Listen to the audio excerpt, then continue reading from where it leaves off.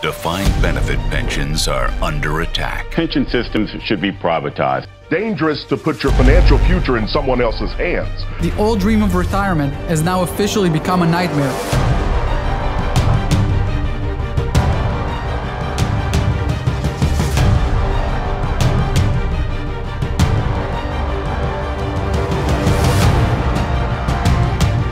One organization is helping 500 funds stand strong, fighting misinformation and fake news with facts and the truth.